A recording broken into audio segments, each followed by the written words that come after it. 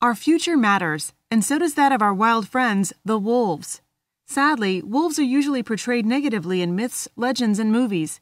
Think of werewolves or Little Red Riding Hood. But the truth is, wolves have a hugely beneficial impact on creating a healthy ecosystem, which benefits us all. When healthy populations of wolves are present, animals like elk, deer, and moose, all of which are herbivores that graze grasslands, are forced to move frequently, as nature intended, eliminating the problem of overgrazing. This helps creatures like birds, trout, frogs, and insects, keeps our streams healthy, and allows the ecosystem to thrive. We can see this effect taking place in Idaho right now. Having plenty of wolves in Idaho, for the first time in seven decades, is like a ripple effect from a pebble tossed into a pond, quickly reversing 70 years of damage to its ecosystem. As the biologist behind Yellowstone National Park's Wolf Recovery Program once said, nature without wolves is not nature.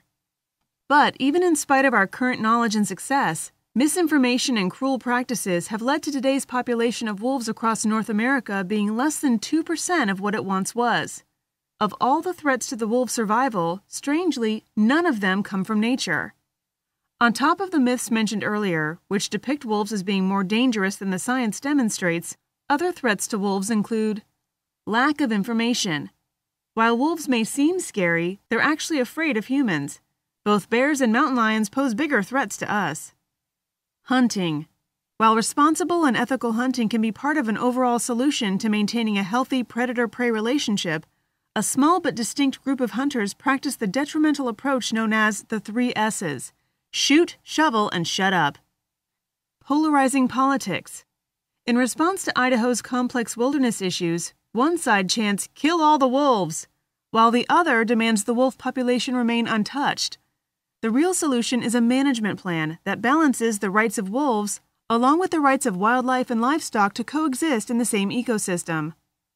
Here at the Wolf Education and Research Center, we believe that wolves and other predators benefit from sound, science based information. We use all available resources, including actual wolves that serve as ambassadors to education, to promote a balanced dialogue between all parties and promote discussions that provide better outcomes for everyone. To do that, we need your help.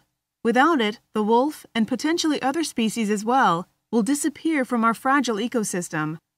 Please support us by clicking the link below to make a donation or participate in our Adopt a Wolf sponsorship plan today. Meet our wolves at our sanctuary, which is open Memorial Day to Labor Day annually or by reservation. Wolf Education and Research Center Education for a Stronger Wilderness with all its inhabitants.